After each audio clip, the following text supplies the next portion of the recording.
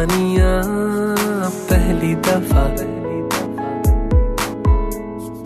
अरमानों में रवानियाँ पहली दफ़ा।